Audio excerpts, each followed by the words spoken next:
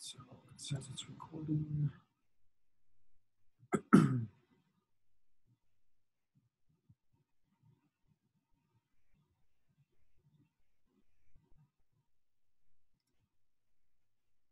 All right, so I wanted to uh, go over some parts. Uh, we'll start in chapter seven on the skeleton. so I think what we'll do is we'll start it from um, uh, cranium or uh, the skull down. And there's a lot to learn here, but as we're learning it, try to think about um, these markings, what might attach to them, if there's a foramen or a meatus or some kind of opening, you know, what is it for? Is it for um, arterial? Is it for a vein? Is it for a cranial nerve? And remember too, and I'll try to mention again, the cranial nerves are numbered 1 through 12 from superior to inferior. All right, starting with uh, cranial nerve 1 right, for, for smell. Um, and then ending with cranial nerve 12, hypoglossal for the tongue and some of the, um, yeah, for right now, just most of the tongue and some of the, the neck muscles, but um, right now we'll just say for the tongue. Or, I'm sorry, it is just for the tongue, sorry. It's uh, motor only, okay? So the skeletal system or skeleton is composed of bones, cartilage, joints, ligaments. So remember, cartilage we have cartilage like in the uh, temporal mandibular joint. That's going to be for articulation. We want coming up a smooth surface. Um, so this can glide or um, motion. And, you know, we need those joints there. Uh, and ligaments, remember ligaments join bone to bone. Tendons join muscle to bone. Right? So the skeletal system or skeleton is mostly bone. Cartilage occurs at isolated areas. Like there's costal cartilage, there's cartilage in your intervertebral um, joints, uh, ligaments connect bones and reinforce joints. And remember too, if you're going into healthcare, once you strain, sprain or strain something, right? If you um, strain it, there's generally muscle. If you um, yeah, if you sprain it, it's generally ligament. And once these ligaments are stretched, remember the the, the tissues, elastin, and all these these um, fibrin tissues, once you stretch them, they don't want to come back to the original shape. So usually there's going to be some instability around that joint or instability around the, the um, where the bones articulate. So the skeleton accounts for 20% of body mass. And remember, I just uh, last chapter or so we were talking about bones. Remember, these are very, very metabolically active. Right, so we're going to divide the um, two major divisions, the axial skeleton and appendicular. When we talk about appendicular, we talk about appendages. So that would be like your arms uh, and legs, and we'll get into, you know, arm, forearm, thigh, and all those different uh, portions. But right now, i just start thinking of, of your um, appendage, you know, appendages, your arms and legs, right? So like I we'll try not to make a mistake on the video or misspeak. But if I do, um, if you want, you can go into the YouTube channel and just leave a comment, and I can maybe add another tube chop it or something. Tube chop down. All right, so the axial skeleton. Remember, this is going to be you know down the sagittal plane in midline. All right, the axial skeleton consists of 80 bones divided into three major regions. So we're going to talk today about the skull, then we'll go into the vertebral column and then thoracic cage. So vertebral column is that vertical column, and that's going to um, encase your spinal cord. So the skull and vertebral column are going to be primarily portions of the osseous tissue that's going to encase the central nervous system. So it'll be your, your brain and your spinal cord. So the axial skeleton has um, three functions. So it forms longitudinal axis of the body. So that's that longitudinal axis, right? Supports the head, neck, and the trunk. Tremendous amount of weight, right? So think about that. Um, if anyone's gone bowling, all right, so a bowling ball can be anywhere from eight to, I don't know, 14 pounds or whatever. But that's the weight of your, your cranium. So your neck has to support all that. And a lot of us walk around with, with forward head carriage. So our head is going forward, puts a tremendous amount of strain, strain, sprain and strain on your cervical spine, your neck muscles, and that can contribute to your neck pain, um, shoulder pain, uh, posterior shoulder pain, um, and just a lot of stress, migraines, um, and things like that. Right? So it protects the brain, spinal cord, and the thoracic organs. So thinking of your thoracic organs would be that mid body. So you know, obviously, I mean, obviously, your heart, lungs, I guess your diaphragm you could put in there.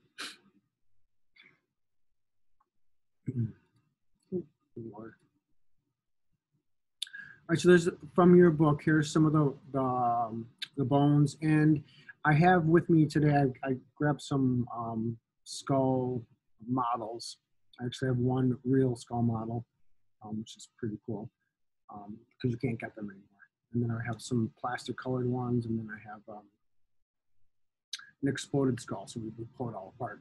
But here's some of the the muscle or bones in the body. So just start um, when you're memorizing these, just kind of start visualizing what are they articulating with? What are they um, butting up against? All right, and kind of remember whenever you have bones uh, articulating, generally, not always, there's going to be some kind of cartilaginous uh, tissue there.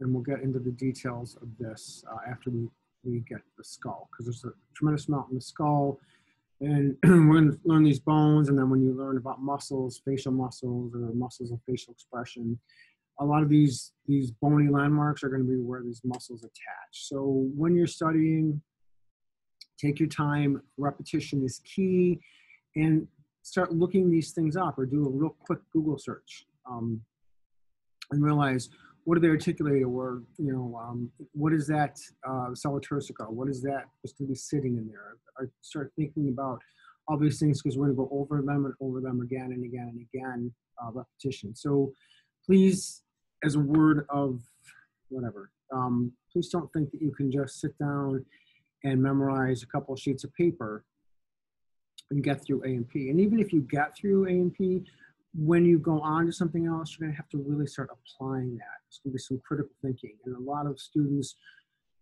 uh, they lose, they lose, um, or they, not they lose it, they are, they're unable to uh, do critical thinking easily because they haven't been training their mind to do it. All right, so get in the practice of doing it. So the skull is uh, most complex bony structure of the body. All right, so um, when we look at the skull, there's a tremendous, and I mean tremendous amount of bony landmarks in foramen and holes, you know, foramen rotunda, foramen ovale, um, a lot of these things. And you have to start thinking, well, what the carotid artery has to go through these structures, and your brain's going to sit in there. You've got the different lobes of your brain, you've got the pituitary gland, um, external uh, acoustic meatus for your ear, and all those nerves that are going for um, hearing and balance, things like that. So it's you have to start thinking about this a little bit at a time and then kind of visualizing 3D how to pull these things together. So the cranial bone or cranium includes the brain and the, and the cranial cavity, provides sites for attachment of neck uh, and head muscles. All right, and then please also keep in mind if you guys uh, have me or if you're taking pathophys or some kind of, uh, when you're, you're going to do um, neurology or whatever, just realize if there is inflammation or septic infection in the brain and the dura mater, pia mater, and that fluid, as it expands, it's going to stretch those tissues and cause a lot of pain. But also remember too, if there's some kind of um, growth or some, you know, we hate to think of brain cancer, um, something, some kind of mitotic division of the supportive glial cells or astrocytes or whatever, um, and it starts uh, growing, there's no place for this to expand to. So it has to, once it hits the, the cranium, it, as the mass grows, it's going to be compressing the t- tissues surrounding it or deep to it. And then we start getting into the brain centers and not a great, great thing. So the facial bones, uh, we'll start superficial and then we'll kind of go to the, you know, the base of the skull. We'll start going to the superior portion of the skull on the inside and just start learning some of these landmarks and what attaches to them. All right.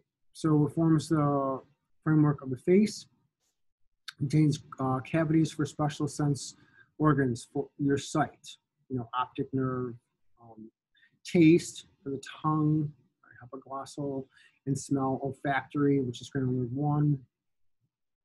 Um, provides opening for air and, and, food passage. So, you know, let's talk about the, the conchae and the septum, you know, help turbulence of the air and uh, food passage using the tongue and down the esophagus.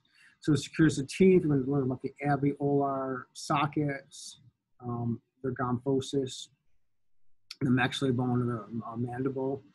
Most uh, skull bones are flat and, and firmly locked together except for the mandible. All right, so the, as you look, oh, this is actually the real skull. All right, you can see how thin and more or less, I mean flat by, not flat like that. These are joined by sutures, and I don't know if I can get up close enough to that for you guys. You can see. Maybe I'll hang on. Here. I'll eliminate some of those. Hopefully this will show up on the video. All right. They have a serrated sawtooth appearance, like a serrated knife or, um, well, you, I'm assuming you all know what a saw looks like, right? So there's kind of these um, squamous sutures, right? And there's coronal, named by the plane it's in, right? Sagittal, transverse, coronal, remember all those. There's a lambdoidal suture, all right, so that is lambda, Greek letter. That's how they named it. Here's some of your facial bones, right, maxillary mandible, TMJ, temporomandibular joint in there. Facial bones from the anterior aspect of the cranium, the cranium forming the rest of the skull. Cranium would be uh, the part encasing the brain. Cranium is divided into a vault and a base. Cranial vault, calvaria, forms superior. So be your like superior in here. Back, Posterior. Superior, lateral, and then it comes from the posterior portion of the skull as well as the forehead or your, where your frontal lobe is. The cranial base forms the inferior, aspect of the skull. Generally, base is divided into three steps, which sort of anterior, middle, and posterior. So just kind of realize what's sitting in that. So anterior is going to be your frontal lobe, middle it's going to be the apparatus for the hearing. Posterior is going to be um, where your occipital lobe is going to be sitting. Brain sits within these fossa enclosed by a cranial vault. Right, so the area is referred to as a cranial cavity. So I'll just briefly, if I have a skull here, take it off.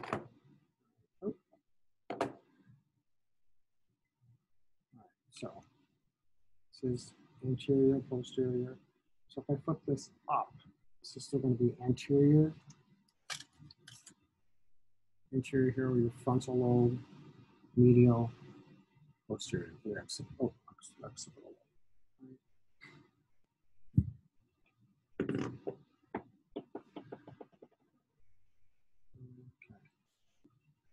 Right, and there is a picture right out of your book.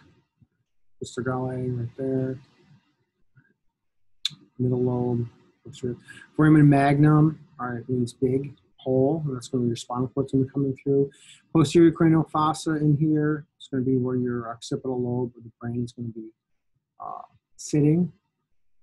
There's the anterior cranial fossa for the frontal lobes. And you know, if you look, there's a division here. So we know, or we will learn that you have a left and right um, frontal lobe, or you might have heard the term left brain or right brain, depending on which side of the brain you identify with more um, yeah, identify with, right? So left brain people generally are going to be very analytical, very science-based. Right brain people generally, you could say they're either musical or creative, um, much more spatial concepts, right, in general. Here's a lateral view, we've cut away. So there, once again, there's your frontal lobe. It's going to be your personality, intellect, things like that. And we'll learn this all right, there's your cerebellum. For balance, occipital lobe is back here. Here's your temporal lobe. All right, so temporal is going to be on the posterior side. And temporal means time. All right, so if you, um, they, they name that because men, as they are 40 or older, that area starts graying. Right? So they just, so with time, that grays, they call it the temporal lobe. Right? So just kind of get orientated, anterior, posterior, and a general idea of what's going on. There'll be sulci in here. And realize too, there's going to be cerebrospinal fluid floating all around it here. Cranium also contains other cavities, middle and internal ear cavities. That's going to be in the middle portion of that. The nasal cavity, and we'll see that from the anterior. All right. And orbits that house the eye uh, balls or eye sockets. Skull has 85 named openings. Don't worry, you have to know them all. All right. Foramina, canals, and fissures. So these are going to be openings. Foramina are usually tiny. Fissures are generally not round. They're going to be more oval in general. All right. Provide passage for a spinal cord, major blood vessels, and the 12 cranial nerves. And once again, when you start learning these cranial nerves, going back up. Right? They're going to be named um, from superior to inferior, ending with cranial nerve 12 here, cranial nerve 1 here for um, olfactory. So just keep that in mind. It'll make um, learning them a little easier. All right, so here's your cranial cavity, orbit for the eye. You see these are bilateral. And your oral cavity. All right, we're going to start learning all of these um, structures or um, names of these components. So the cranium is composed of eight cranial bones. All right, so luckily we have some of these that I ordered for us. Right, these are all going to be, or they are all color coded. Reminds me of, you guys know who Achmed is? Jeff Dunham? Yeah.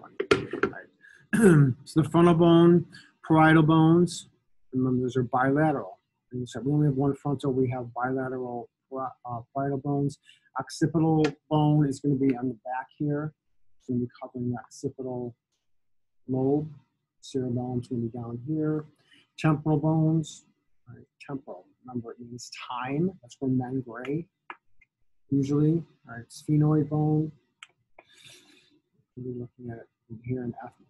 All right, so, you know, I mean, you may have heard of the sphenoid sinuses or ethmoid sinuses and the components of that bony area. So the frontal bone, uh, you know, if you want to say like uh, somebody had a frontal lobotomy, which was not a good thing, but they would go in, drill in there, and they just kind of take a probe and move it all around. It completely changed people's personalities. Right.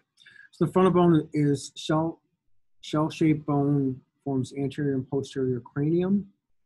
The vertical part called the squamous region is also known as the forehead. Right. And you know we talked about squamous cells, um, but these are usually they mean like scale-like or tile-like. Right? So when they named it, um, show you guys here. Maybe I'll do that. Would be up in here.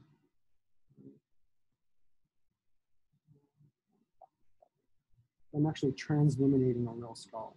See how thin that is the light's going right through it. The uh, inferior portion ends at the supraorbital margin, so supraorbital. All right, supra means always above. This is the orbital, so supraorbital. So there's your orbital. So supra-orbital would be above the eye. Area underneath the eyebrow forms the superior wall of the orbits and most of the anterior cranial fossa. Right, so anterior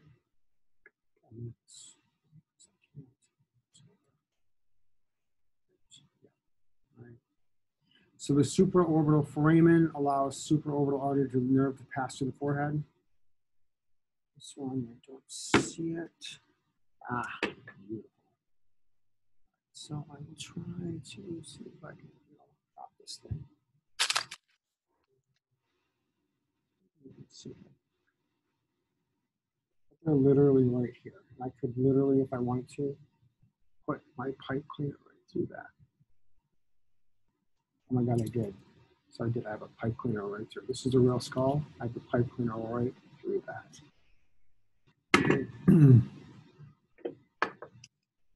The glabella, I'll use this one.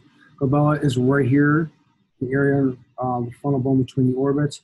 Frontal sinuses are located just lateral to the glabella. Your frontal sinus is here. Um, and I guess I don't know if I could. Yeah, maybe I won't. But that's also, um, you know, some spiritual people have that dotted. All right, it's right over the third eye. Are interested in any of that, that uh, stuff. And posterior to that's going to be the pituitary gland directly in line with that.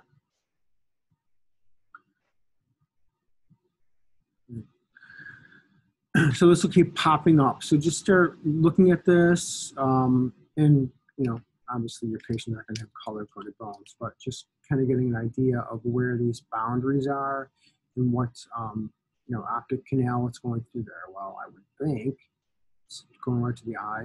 Right, so the optic nerve, cranial nerve two is going to go through there. The superior orbital fissure. So we have to innervate the eye, right? So we're going to have some blood vessels and things like that. So as you're going through here, look at your book um, and start. It'll tell you what's going through it, and then think, well, yeah, we have to innervate that. We have to get blood to it. We have to move blood away from it. A lot of nerve roots and things like that. Our nerves are going to be going through there. So here is a superior to inferior view, S to I, just showing you some of these components. Here's a cribriform foramen, optic canal, all right, foramen ovale, spinosum. My phone right here. So this is going to be a, there's going to be some uh, cranial nerves going in here, through here. All right, internal acoustic meatus. So this would be have to do with something with the ear, right? So if you're talking about you know, think, well, what cranial nerve innervates the ear? All right. Um, so I'm not going to tell you that. You can look it up and then you'll remember.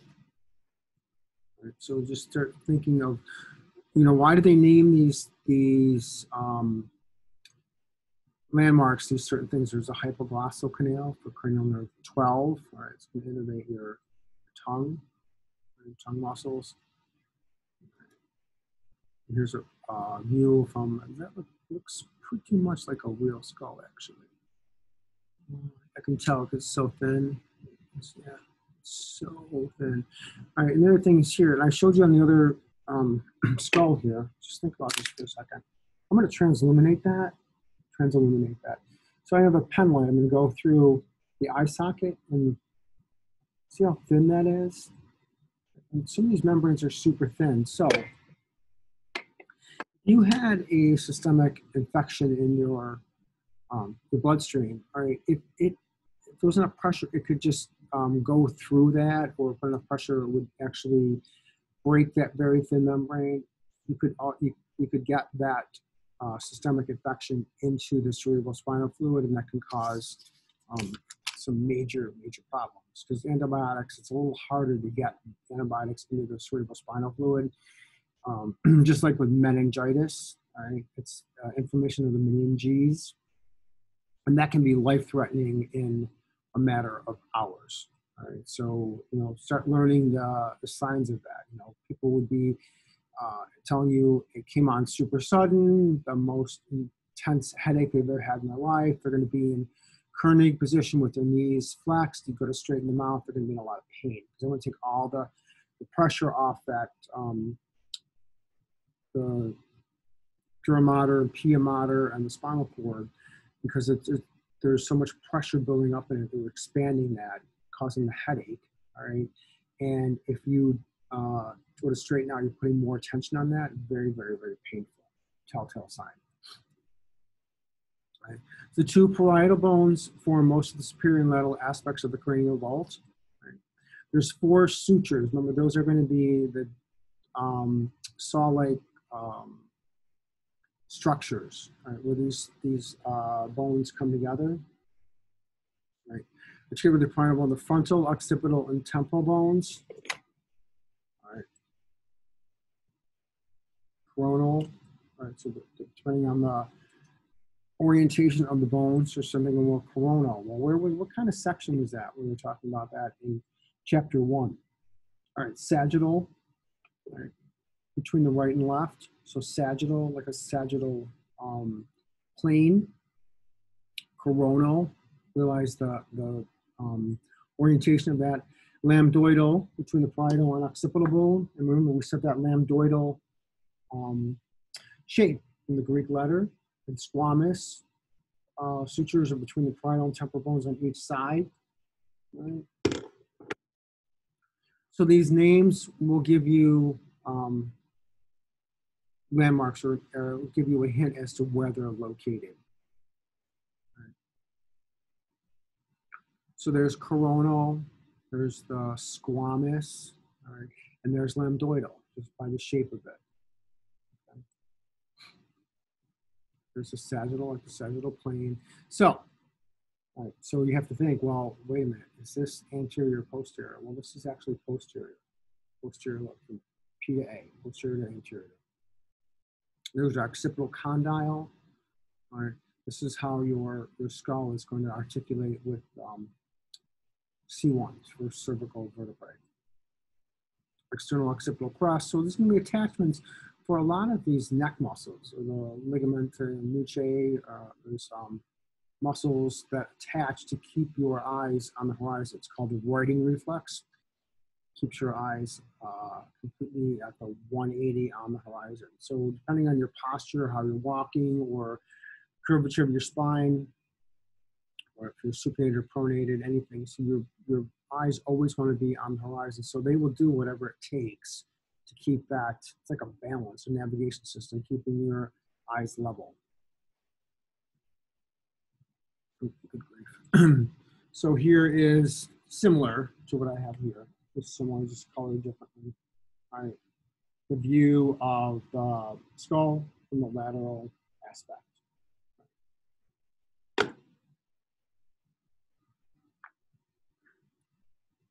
And there's one on the, that looks to be real. Yeah. Wow, that's awesome. That, that is. Now we've taken the same skull and we've done a sagittal cut on this. And it'll show you right here. If you're not sure, like, well, that looks weird, or I'm new to this, it's, I, what, what the hell did they just do there? Just go and look. They'll show you, it put looks like a piece of glass. They're cutting it right in half for you midline. So now you're getting a view. So theoretically, the mirror of that would be on the other side.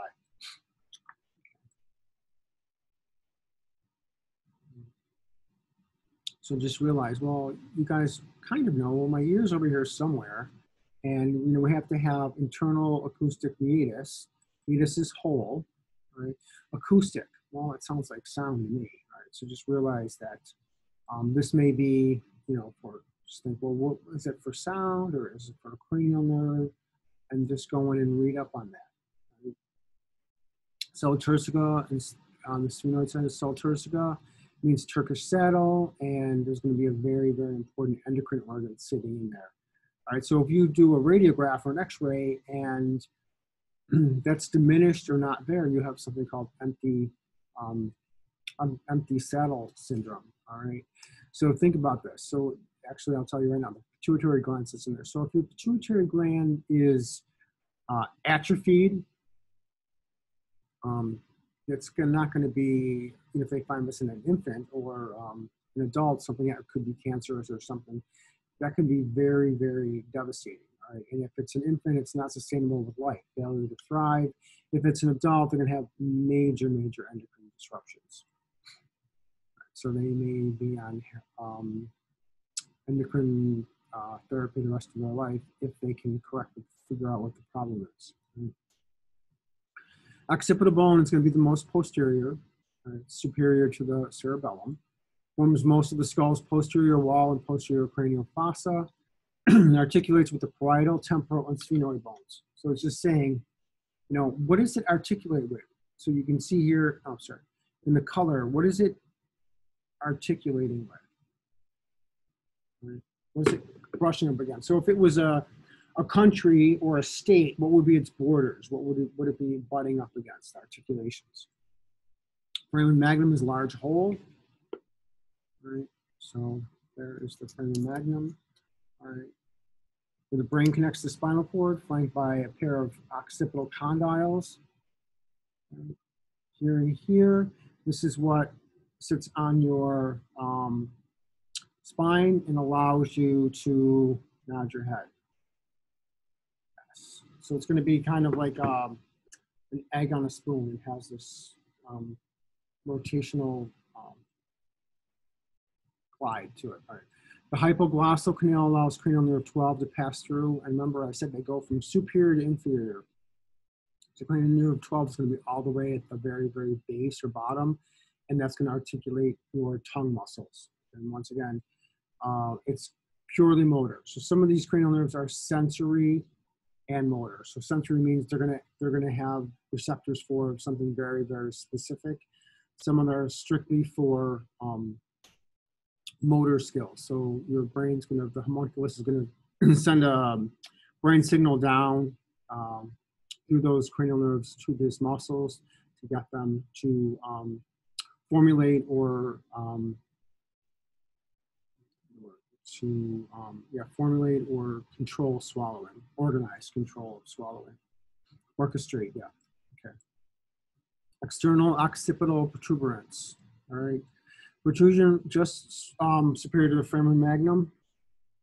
So literally it's right here. This painting is, I hope I don't have any paint on my nails. All right, so right there, right. ridges that are ciphered the ligament nuchae. So that ligament, nuchae is neck. So it's going to attach ligaments there. All right. So um, if you've ever seen like um, some mammals or mother cats, how they pick their their kittens up, they pick them up from the back of the neck. It's very very durable attachment. They pick them up from the ligament nuchae. Superior and inferior nuchal lines, site of attachment of many neck and back muscles.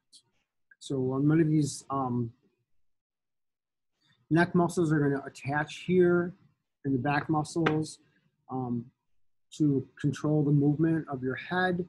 And like I said, for that righting reflex, keep your eyes on the horizon. Right? So a lot of people that have, or most, most of the population, I would say now, because of our cell phones and computers and um, tablets and uh, just the way we operate now, we're going to have a lot of sprain and strain on here and a lot of um, hypertonic, so overly tense muscles because they're constantly being used. Uh, and we, you know, a lot of us or people don't know how to relax. So unless you're going in for um, a massage or whatever and just kind of consciously relaxing those muscles, they just stay contracted. When we start talking about the cross bridge theory later on, we'll go into hypertonicity and things like that. And so here is your posterior view again. So superior nuchal line. All right, so this, this is the superior above. Right. Here's your inferior. Right. So this is going to be where a lot of those neck muscles or strap muscles attach. Okay, so if you haven't figured it out right now, this is from inferior to superior. All right, so we're looking from um, your palate up, right? But what's missing is this guy, the mandible. They're taking the mandible off. So it would be this view with this removed. I really want to remove that. Okay. A lot of the students remove this and then I have to go and replace the springs on them actually quite annoying. All right, so um, just kind of go in and look at these. This is really, you know, honestly, this is more of a lab exercise, but I'm going to cover it in lecture and pop this into lab because uh, I don't, I, I can't be sure that if you don't have lab with me that this stuff is is covered. I really, um, I love. I really thoroughly think that your lecture lab um, should be um, uh, synerg- they should work synergistically together. Right? Shouldn't really be completely separate, but sometimes you know labs are full or lectures full, and you have to jump in somewhere else.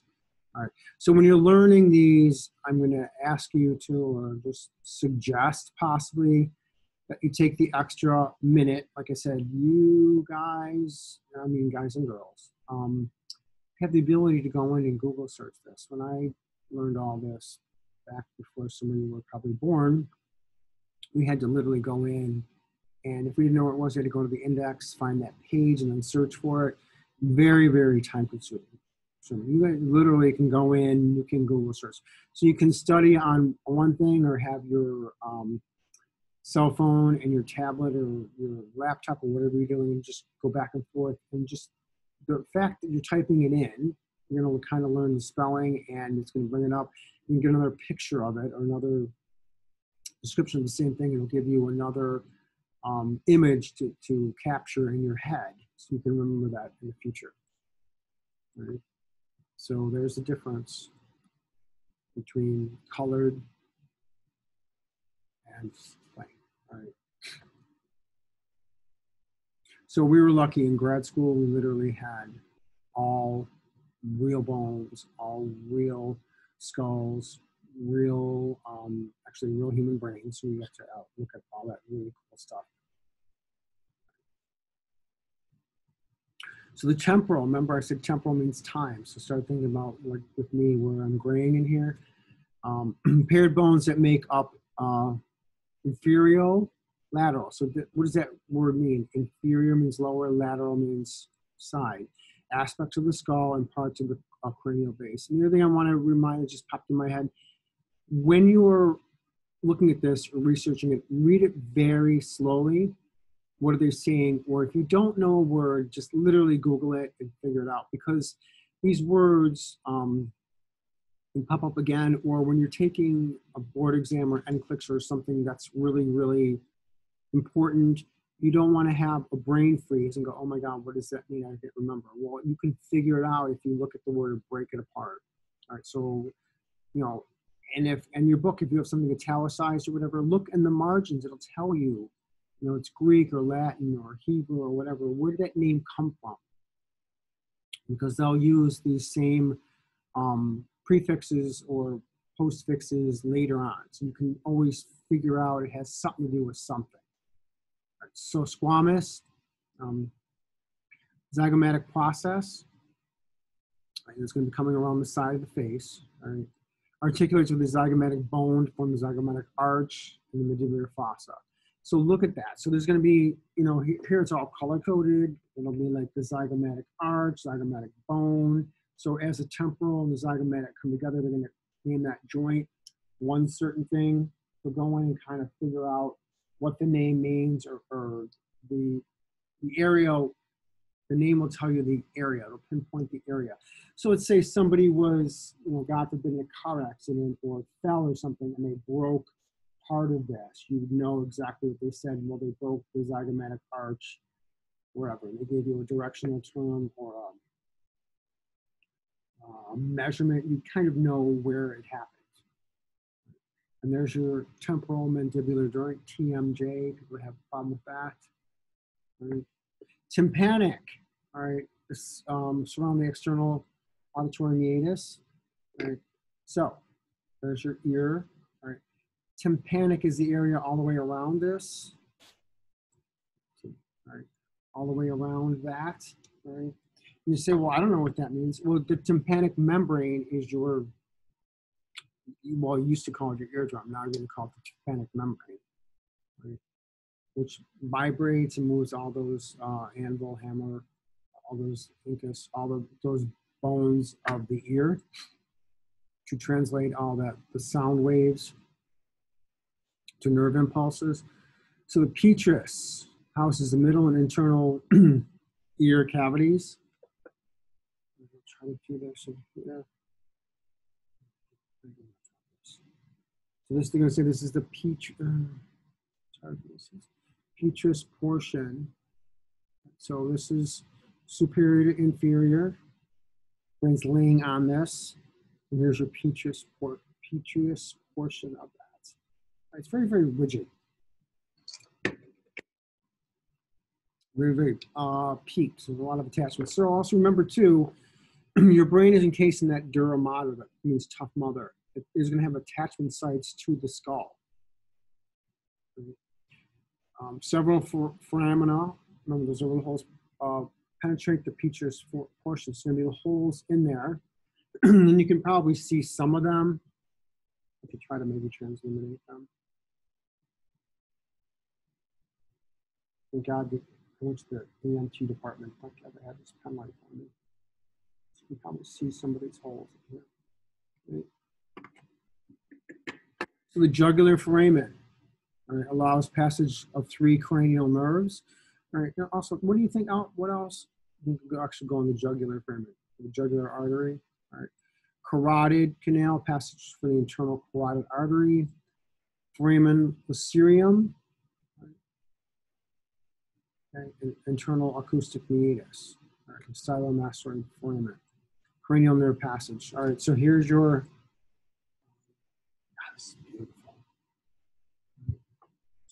excited. I don't know if you guys can see that. I'm illuminating it. I'll illuminate this one. Maybe from the side I can do it. There's like a styloid, a little bony process in there, right there. The styloid process. All right, so, um, or maybe you've seen a, a stylus for a, um, a tablet or back in the day, there's one alive in the, in the 70s and early, well, even 80s and 90s, we had record players, not LPs, and there'd be a stylus in there that would go in there. But the stylus and the human body is for the attachment of the tongue muscles. All right, and that the hypoglossal uh, nerve goes through there, cranial nerve 12. It's going to innervate those tongue muscles. So there's a lateral view right in there. There's a styloid process. And then just imagine your tongue is in this area too. Right, so if you were going to rip someone's tongue out, right, that sounds horrible. All right, if you were to pull on that, there's going to be attachment sites here too, the muscles, tongue. Right. So there's in the picture. Okay. And then there's a temporal bone. All right. So I brought this guy here. So, so this would be the temporal bone if we were separating it. So there's the temporal bone. So just if we're study that bone separately, you know, we're not going to do that obviously because other guys aren't physically here um, in lab. But there's your external auditory meatus, so it gives you a, a point, a, rough, reference point, all right? And then just realize when you're your ear down, your tongue is right there too. So you kind of can get an idea. So if you were, um, well, I guess, even if you were quizzed on this or tested on this and someone had you know, back in the day, we'd have, literally have a pipe cleaner through the, you know, we'd have a pipe cleaner through that uh, external auditory meatus, and then we'd ask you, you know, if we pointed to this too, we'd say, well, what is this? You'd have to know this is the temporal bone. That's the external part of the ear. Below that is the tongue. So you'd say, well, what would attach to the styloid? So the muscles of the tongue. Okay, perfect. Once again, there is um, uh, view inferior to superior, and there's your palatine bone, right, in this area here. So if you don't remember that well, think of your taste palate, and that's your palate, right? And um, the maxilla, right? So a lot of you probably have burned this, right? Uh, drinking something hot or eating something really, really hot, right? And then as you're going through here, just think about if there's nerves going through here and you've ever been to the dentist, you know, they're open wide and they stab a stab a needle in there and they numb these nerves. And these nerves are what can innervate your teeth. So when they do procedures on your teeth, you don't, luckily you don't feel it, right? So just start learning some of these holes and orientate yourself and figure out what's going through there, right? I said you don't have to for right now know what nerve goes through here per se, but at some point you're going to have to, hopefully, you have a um, good professor, that they're going to have you memorize the cranial nerves, all right? And generally what they do. I wouldn't expect you to memorize everything they do, but if there's a sensory or motor function, you probably should start learning it now and getting um, familiar with it. And if you're like me, sometimes there's that one or two cranial nerves that no matter how many times you pound your head into it, you just literally forget it or don't remember it. So don't get frustrated. Um, and if you don't remember it, it's just start using process of elimination. Well, I know it's not seven or six or whatever, and I know it's not this, so it has to be, and you'll be able to figure it out. I'm going to start looking at some of the structures looking down at the skull. And remember, once again, your brain is sitting in this. All right, so just realize anterior, posterior, what's sitting in here, you know, what are some of these functions here? All right. All right. So clinically, the mastoid process contains cavities or sinuses called mastoid air cells. All right, so realize they're taking up space. We have these air cells in here. All right, if they were they were completely full of osseous tissue, would be very very dense. All right, so sinuses are there for resonation. So uh, if you're hitting a solid block of wood or you're hitting something hollow, there's resonance. It makes the sound different. Um, for phonation. And once again, and just I'm going to try to transluminate this.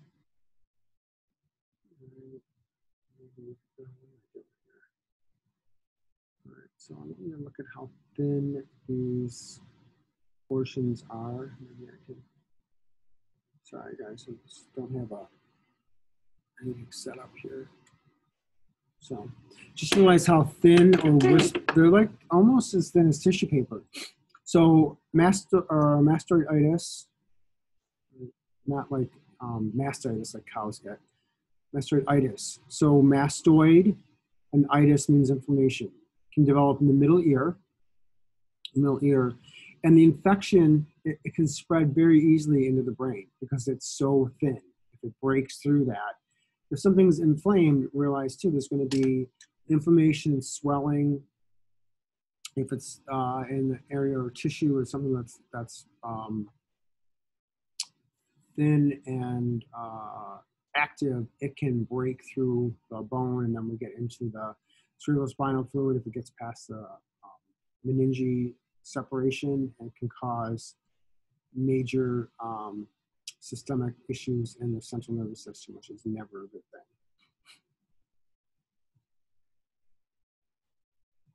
I don't know what I'm doing here. Good grief. All right, sphenoid bone is complex. It's bat-shaped bone. Right.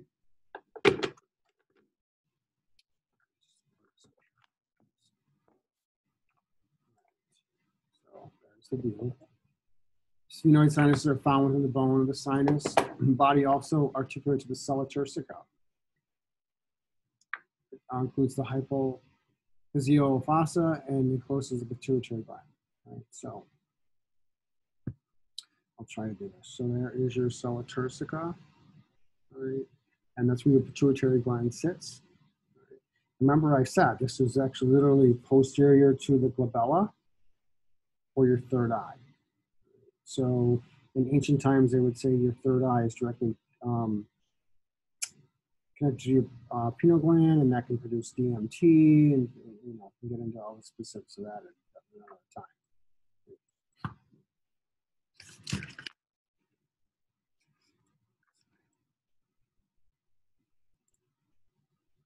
All right, so when you're looking at this, just kind of uh, look, and there's a greater wing and lesser wing in the pterygoid process. All right, so what's the attachment going to be? What's that for? Just think, start thinking about that.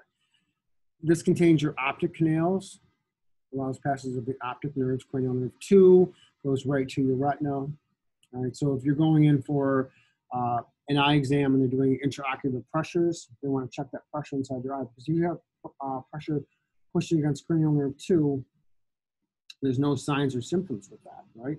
So uh, if it's pushing, compressing cranial and starts dying, all right, to start um, destroying the optic nerve and it'll start destroying um, part of the back of the retina and then as well the photoreceptors are. can cause um, major blindness. And once again, there's really generally never any uh, pain with that. You might see some flashing lights or things like that, but these are things you want to um, check. We want to look for that cupping of the retina, the back of the eye. Um, superior orbital fissure, cranial nerve passage, superior orbital fissure. And I literally, I'm pretty sure I put the um, pipe cleaner through that. All right. Foramen rotundum and foramen ovale also passes passageways for cranial nerves. And when we start talking about the heart, there's also a foramen ovale uh, in embryology, so that the right and left atrium blood passes through there because remember the infant the heart is not beating so we just want to circulate mom's blood uh, through the, the fetus right? And there's a hole there foramen ovale uh, it's supposed to be there. But as the child is when the child's born in infancy we want that to seal up. We want the atrium to be separate. So sometimes you can have a patent foramen ovale so they're born with that hole in there. We'll talk about that later. So you'll see this word again when you're talking about um, the septum, atrial septum in the heart. Foramen spinosum is opening for arteries. And there it is. There's the sphenoid bone. Just look like a bat. So greater, lesser, pterygoid process. Just kind of um, figure out what what's there and you know, if they say, you know, where is a telus, um, telecerca or sella turcica sit, you know, oh, well, I remember it was in that, that bone. Oh, wait, it's sphenoid. Ethmoid, and we've all probably heard of ethmoid sinuses, or if you haven't, you have now. Superior part formed by the pair of cribriform plates that also form the roof of the nasal cavity and the floor of the anterior, anterior cranial fossa. So I mean, like, okay, what are they saying here? superior part um, by the cribriform plates. It also forms the roof. Just think, well, here's here's the nose. All right, so I'm gonna say, oh, it's gonna be somewhere in this area. All right, crista galli, a triangular uh, process that is the point of attachment of the brain's dura mater covering. And I said earlier, a few minutes ago, remember your dura mater is attached to your brain. Right? There's fluid moving around. We just need some kind of anchoring point so it doesn't start shifting. Right? you wouldn't think of that, but just realize if things aren't attached, start shifting. It's very similar to the pericardial sac around your heart, right, is literally attached to your diaphragm because your heart's beating constantly. So if it wasn't, it would start bouncing all over your thoracic cavity. You ever played um, something called like tetherball? Right, so the heart would be bouncing all over. We need to attach that um, inferiorly to the diaphragm. All right, the perpendicular plate. So remember, perpendicular. Right, so perpendicular. Form superior part of the nasal septum is flanked by the lateral. So this is perpendicular here. Lateral is going to be on either side, right? Contain the ethmoid air sinuses. All right, the lateral masses extend medially to form the superior uh, middle and nasal conchae. So just, you know, look in your book and, and realize what's going on in here. Right, there's going to be sinuses up in here. Right, if any of you have ever had sinus infection or known someone with a sinus infection, it can be very, very painful. It's going to be located to be frontal, ethmoid. In here, these sinuses can fill with fluid, right? And there's a lot, a lot of pressure.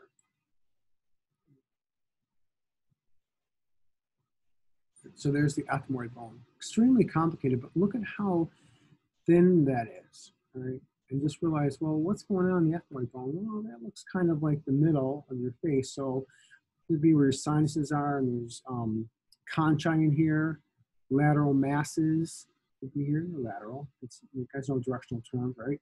Orbital plate, all right, because your nose is here, the orbit's up here, so you're figuring, well, your eyes are going to be here somewhere.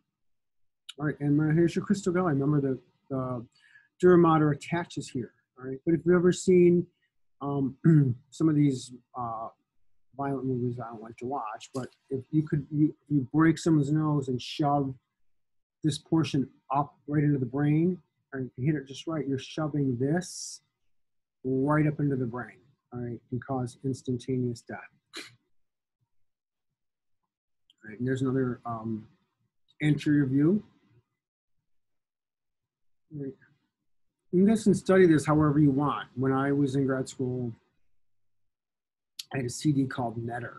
You could go in and you could blank things. Netter, it's by Netter, N-E-T-T-E-R. Fantastic um, artist and MD.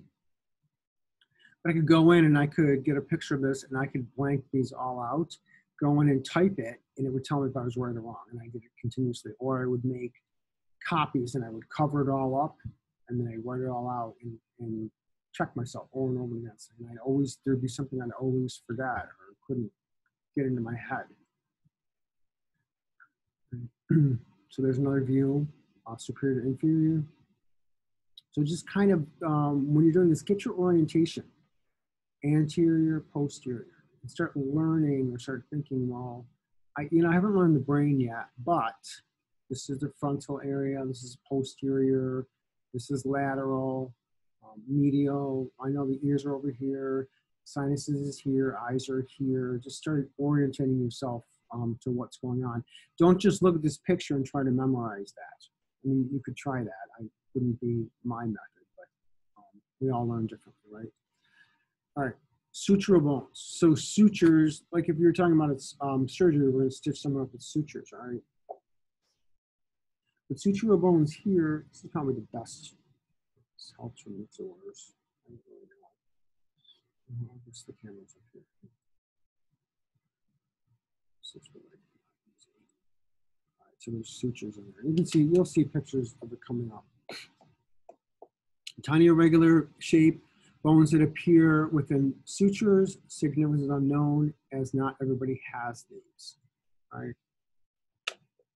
Um, these literally um, from the foramen uh, if the baby, the soft spot, I do have a real baby skull here, but I don't want to go pull it out as it's getting really brittle. Um, you know, a baby has the fontanelle. It's a really soft spot in the brain. So as that starts filling in, these sutures will start coming together. Right? They're saying significance unknown, uh, as not everybody has these, but there's there's something called cranial craniosacral technique, and sometimes they can go in and they can, um, it's a little bit esoteric, but they can go in and manipulate these uh, sutures and get them moving again, right? And get that cerebral spinal fluid moving over. So the, sig- the um, significance of these, really, they're like um, seismic plates or things, uh, there's fault lines. There's things that they can start regulating uh, pressure and regulate movement. Right, so here's a sagittal suture. There's your lambdoidal suture again, caused by the, the shape, all right, lambda, occipital bone, superior nuchal line, inferior, and these remember these are their attachment sites for ligaments and muscles of the the neck and um, yeah, part of the neck there. So the facial bones, there's a mandible, right? So you guys know, should know that, the lower part of your jaw. Maxillary bone, maxillary is up in here, the portion where your teeth are. Zygomatic bones, they're gonna be over here. Nasal bone, lacrimal bone, so think about lacrimal, lacrimal. So just start thinking tears. So where do you think those would be located? Palatine bones, all right. The vomer, in the center part of the nose, inferior nasal conchae. There's two of those. Mm-hmm. So the mandible is the strongest bone of the face.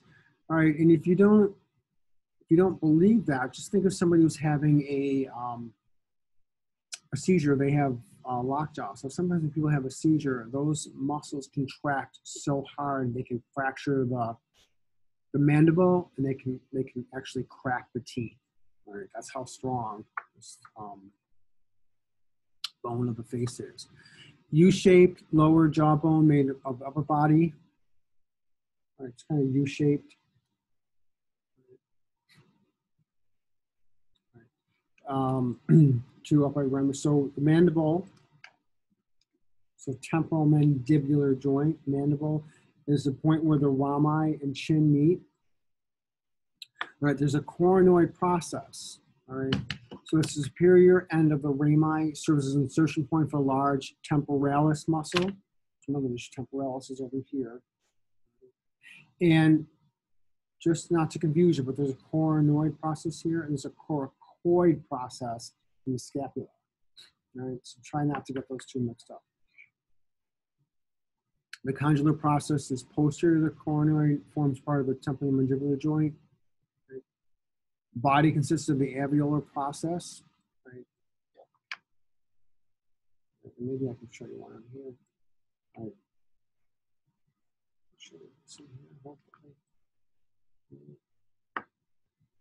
And there, I've got a.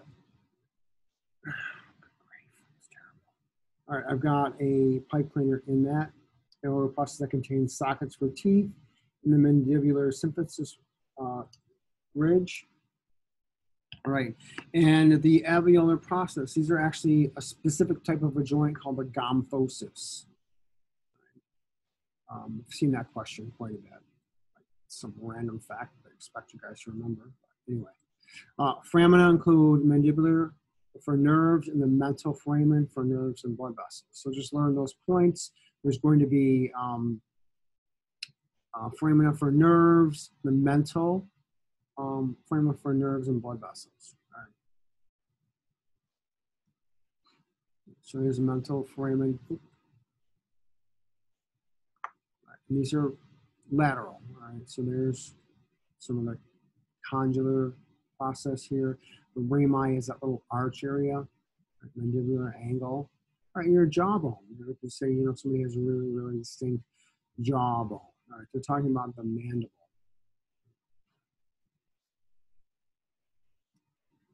All right, the maxillary or the upper portion immediately fused to form the upper jaw and central facial skeleton. All right, and just the other thing too, think about this. Um, try to do this too. I'll try to translate this.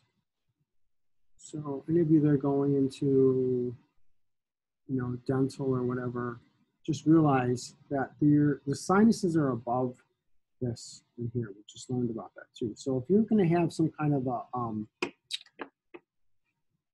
titanium implant or you need some something done or a root canal, just realize that those are really, really, really close to the sinuses. So sometimes you go to have one of these upper teeth uh, replaced with a titanium um, post or an implant. Sometimes they have to literally go in and they have to build up the bone area. So they might go in and um, remember we talked about osteoblast and osteoclast and all this stuff. So they actually they, they'll go in and they'll it's really kind of cool. They they'll pull growth factor from your blood, right? And they'll go in. They can pack it with um, osteocytes, or they can use, uh, not to be gross, but they can use sterilized cadaver bone. So you have the components there, and they can have you build up that bone area. So when they go to put the titanium post in, they have something to anchor it to. Side right? so this anterior uh, postal spine forms just below the nose. So just kind of think of, you know, you're in here on the maxillary bone. So start visualizing, you know, either from here or what or what view you need to do. And a lot of you can go out, you can get 3D animations of this stuff too. Uh, stuff that was not available for me when I was taking this. Right, there's a frontal process. So realize, well, I know what the frontal bone is. I know uh, anterior and posterior. To give you an idea of where that is located. Zygomatic process. Right, so there's zygomatic. Right, and there's a maxillary. So I would say it's going to be some somewhere over in that area, right?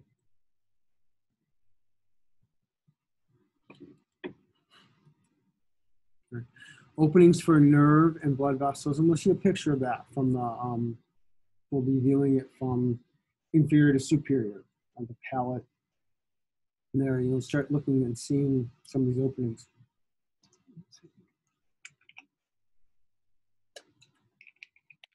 All right inferior orbital fissure. That should be easy to figure out. Inter or infraorbital foramen, and then incisive fossa canal.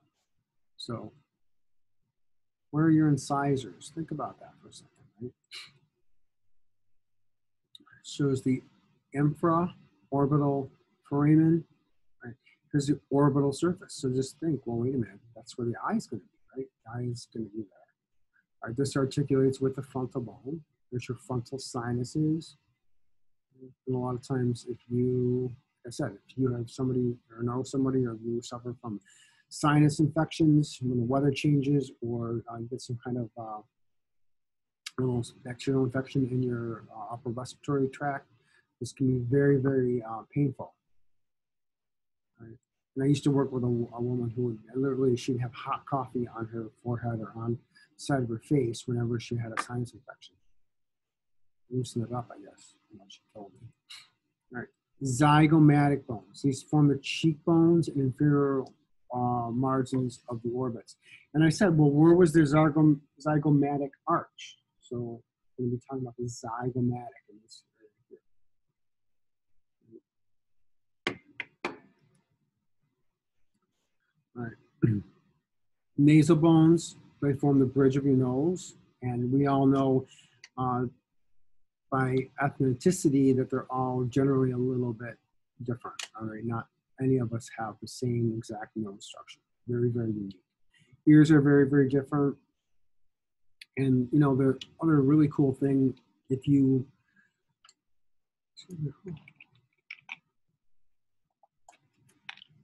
if you look at pictures of people from um, when they're children to adults, you'll look, their ears are completely different, their nose is completely different.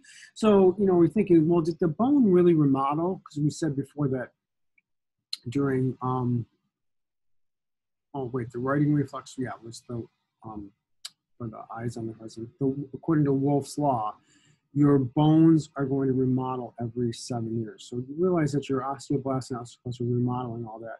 But sometimes they can change in shape depending on your bones can change in shape depending on what kind of um, shearing forces are put on them. And the cartilage in your ear can change too. It starts to ossify as you get older so it can it can change some of these things. And you'll notice if you look at um, people as they get older um, you know think well did their ears really get bigger or did everything around it get smaller? So just start thinking about that. That was a side note i lost my train of thought uh, all right, so nasal bones form the bridge of your nose, articulate with the frontal, maxillary, and ethmoid bones. So like I said again, when you're looking at these or picturing this, what are they articulating with? What are the boundaries? So think of it as a, like a state, I said. What other states or what other landmarks are surrounding that bone? Right? So attached to cartilage that forms the tip of the nose. So you know it's, it should be relatively flexible. Uh, lacrimal bones forms the medial walls of the orbits. So lacrimal, I said lacrimal, you know, tears are lacrimal fluid. Articulate with the frontal, maxillary, ethmoid bones. Lacrimal fossa that houses a lacrimal sac allows passage for tears to drain. And if you don't believe me, if you've ever uh, seen somebody cry or you've ever cried for something, um, tears of joy or happiness or anger or whatever, um, it's draining somewhere, right? So it's draining right into your your nose or into the mouth if you're really, really crying.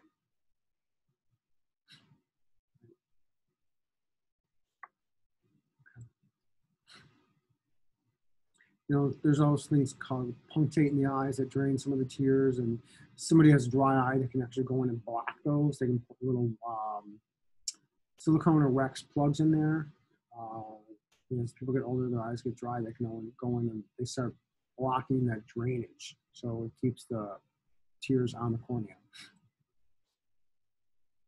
All right, so there's a side view showing you all the, the bones and just start thinking, you know, I know it's hard and it's a lot, but start thinking about 3D structures or what is deep to that or what is, that's the outside wall. So what's behind it? Palatine bone, L-shaped bone, um, made from two bony uh, plates. These are actually plates. There's a horizontal plate. Remember, horizontal is always this direction. Uh, posterior one third of the hard palate. All right, so palate, that means it's my mouth, or the hard palate would be, um, oh, probably the back, right? It's the part where your tongue actually can't reach all the way back. Right. The perpendicular plate forms part of the posterior, posterior lateral. So posterior lateral, I'm giving you the orientation right there.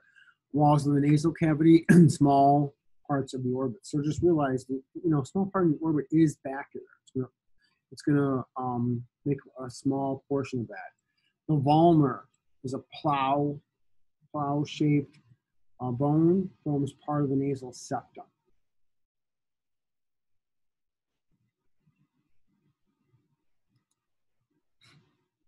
All right, so there's that vomer. You kind of look, it's plow shaped, all right? And there's that palatine bone, the horizontal plate. All right, or perpendicular is going to be going in this orientation.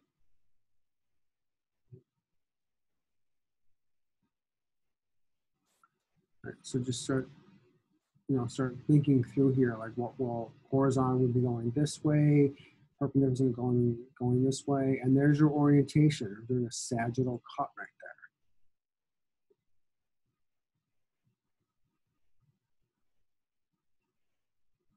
Right, so the inferior nasal conchae. So conchae are going to be, um, uh, you think of those uh, conch shells. You know, you're supposed to can hear the ocean in them. So they're that's how they kind of got their name by that shape. Pair of bones that form part of the lateral walls of the nasal cavity. Largest of three bones of the conchae. The ethmoid bone forms the other two pairs. So when you're looking at the ethmoid bone or that that area, start orientating yourself to that.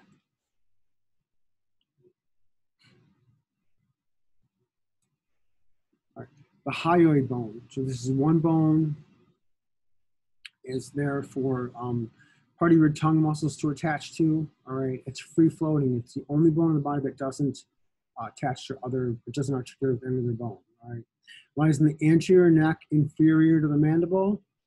It's not a bone of the skull. It's just kind of sitting there free formed. It's, it's kind of uh, U-shaped. Only bone that does not articulate directly with another bone. It's anchored by ligaments.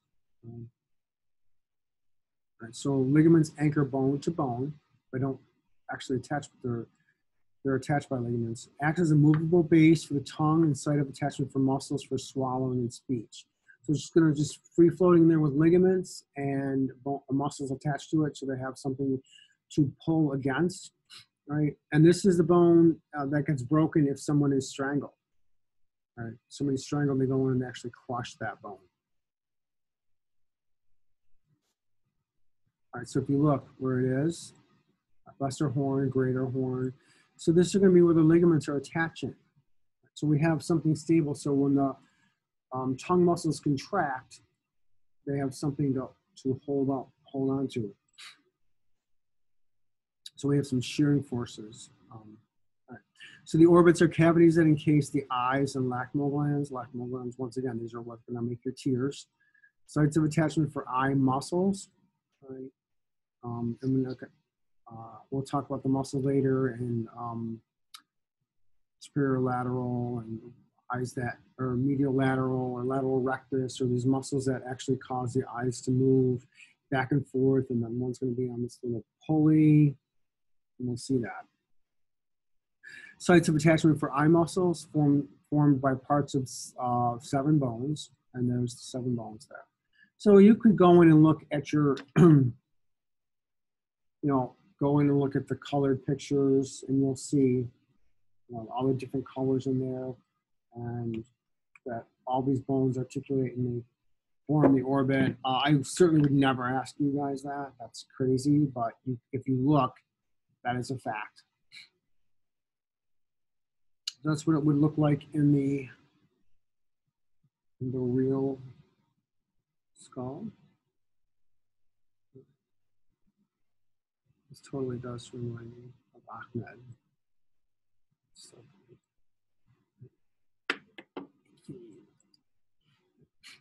so there's an actual close-up. Right? And there's all the different bones, all right? But just, like I said, when you're going and looking at this, I know it's gonna take a little more time, but repetition is the key. Once again, optic canal, well, what's going through there? Superior orbital fissure. Well, why would I need this great big area, my spine, posterior to my eye, what's going through there? You know, what what's coming through the uh, infraorbital foramen? Well, what's located in that area? Is that going to be nerves? Is it going to be blood? In the nasal cavity formed by um, parts of several bones. So when you're going in, you're looking like the nasal cavity in here, posterior. And so, you know, what is the roof, the portion? Well, there's the nose. So if I were to go in through here, what am I, I'm up against, sorry, I'm up against something up in here. So there's a lateral view of what's going on here. Okay. Yeah, lateral walls are superior middle concha of the ethmoid, perpendicular plates. Right. Spaces between the concha are called meatuses. A is always a space, a fissure, uh, foramen, you know, all of these spaces, and they're not there for um, no reason, right? So conchae increase the turbulence of the airflow, right? The floor is processed of palatine and maxillary bones, the floor in your sinuses. The nasal septum, that portion that divides it from left to right, and you, I'm sure you've all heard of people with a deviated septum. All right, so if somebody has a deviated septum, they usually have trouble breathing or their voice sounds a little weird. Or a big um, problem with that is they'll go to sleep laying on their side and then one side of their sinuses will get all plugged up and they have to flip over and the other side um, will drain and then the other side gets plugged up. It's a constant battle back and forth where all this fluid goes in the sinuses if they're deviating and causing major, major problems with um, pressure gradients and all kinds of crazy stuff. So anterior formed by the septal cartilage. Remember, cartilage is rigid, but it is a little bit pliable. Right. So when they go and do the sept, uh, nasal surgery, or they used to, they would go in and sometimes they have to break it completely and they, they shove these molds up in there and they can literally sew them together and then it can be weeks or months when it reheals. We re um, reconstruct that sinus or that that um, lumen, right, so that people have a much easier way of um, breathing.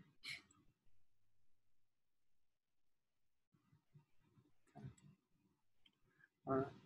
Paranasal. So para usually means around or side of formed by five skull bones. Right, all contain, there's the key, they all contain mucus-lined air-filled spaces. Right, so anything that's external to your body, any, any part of your body that is in contact with the external environment, and your, your nose is because you're breathing in external air. These are mucus lined. All right, so we want mucus there. Remember too, anything that's mucus lined usually has um, IgA, immunoglobulin A antibodies in it. Very, very important. Functions warms and humidifies the air. Just think about that. What if you were outside, you know, specifically in Buffalo in February and it was 10 below zero and you breathed in really quick and there was nothing to warm that air.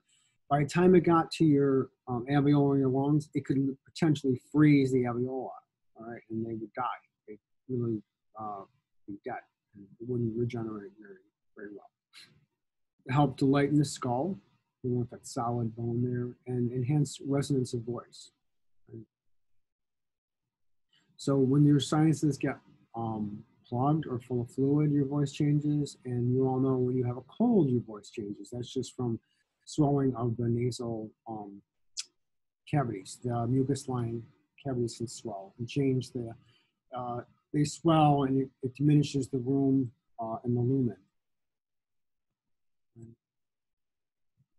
So there's your maxillary sinuses, there's your ethmoid sinuses, right? And these can be painful too, right? And then the frontal sinuses, right? So I, um, I think I can do that.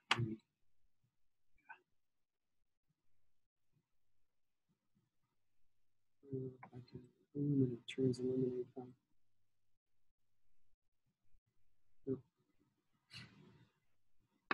But you can, if you, you know, if you suspect somebody has a sinus infection or it's fluid, you can turn the, you can turn the lights off somewhere and you can actually go up and you can transilluminate these sinuses and see what's going on with the patient.